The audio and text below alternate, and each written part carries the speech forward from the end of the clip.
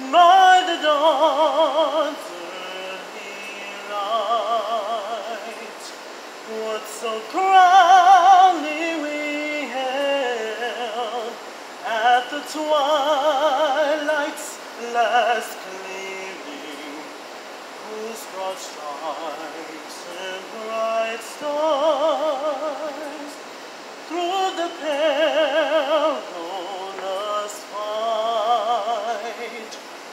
for